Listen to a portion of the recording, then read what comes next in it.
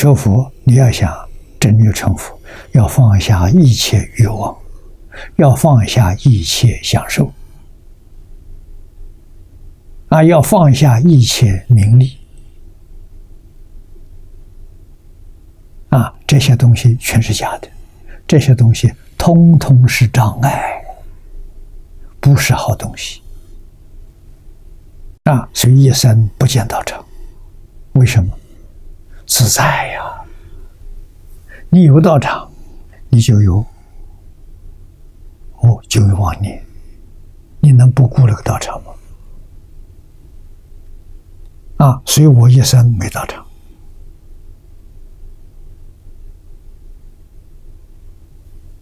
啊！我只要每天吃得饱，穿得暖，有个地方可以睡眠休息就好了。啊，真的不操心的，没妄念的，啊，有道场，你就得天天放不下，那个事情可麻烦了。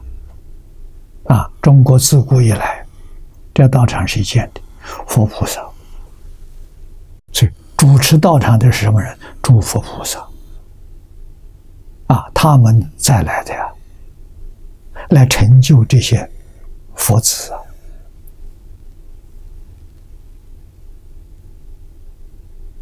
啊，都是明心见性、大彻大悟之人，不是凡夫啊。凡夫要主持道场，没有不造罪业的啊，将来果报这三途啊。所以每个大道场，世世代代都出高僧。那就对了。那这个道场出不了高僧的时候，那道场肯定造孽。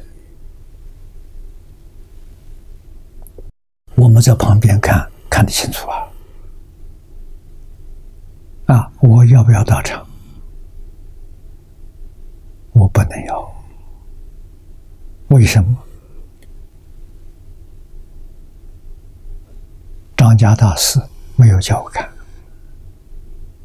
李老师没有叫我干，而且中国古人说：“你想害某个人，你就请他做主持，请他做当家，他就完了。”我说：“操心啊，万年多，心不清净啊，顶多他做的很好，照顾人照的好，人天福报。”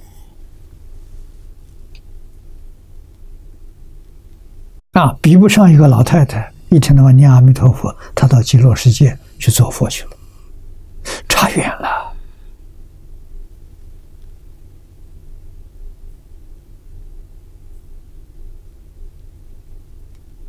这个道理一定要懂。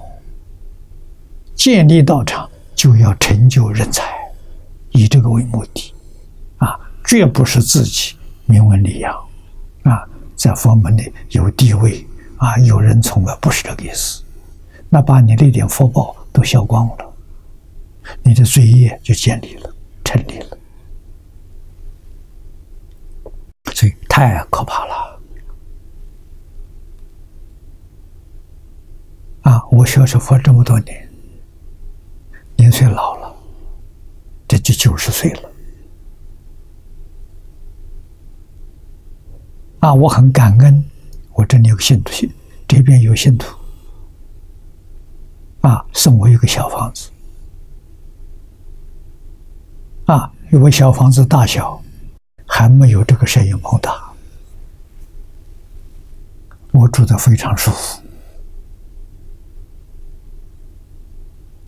住的非常自在，啊，讲经教学不中断。这就是诸佛菩萨之所行呐！啊，现在的方法好啊，可以用光碟，可以用网络，用电视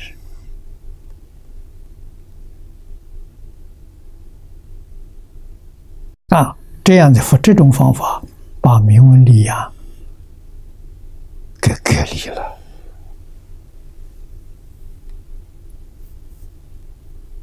啊，小道场没有人来听经啊！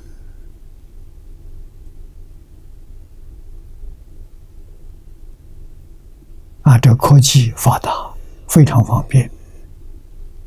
无论在哪个地方，你有这家里有电视，你就能收得收看到。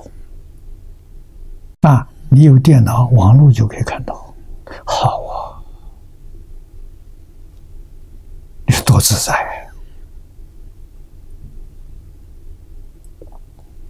如果想这个想那个，太苦了，啊！一切随缘，事出世间一切法，通通随缘。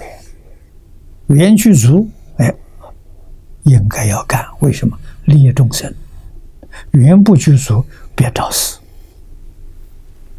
多一事不如少一事，少一事不如无事。啊！我这一生的成就。我感谢韩馆长，他们一家人护持、照顾我三十年，我这个根扎稳了。啊，没有这三十年，就没有今天了。啊，所以他们家这个功德大了，我们的一生成就。啊，带许许多多人念佛往生，啊，这功德都有他一份。